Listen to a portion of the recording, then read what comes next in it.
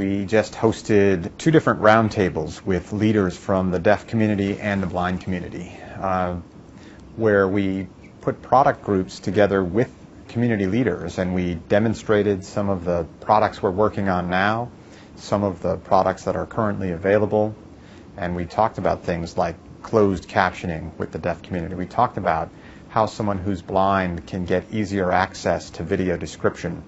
Because today, for someone who's blind, to get at the audio settings to turn on uh, video description, you have to go through an on-screen menu.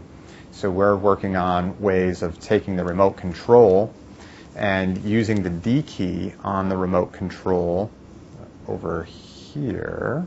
Um, you can actually turn on and off the audio setting where video description is available. So one-touch access. So those are the types of things that we talk about with the blind community or the deaf community, easy access to the features that they care about most.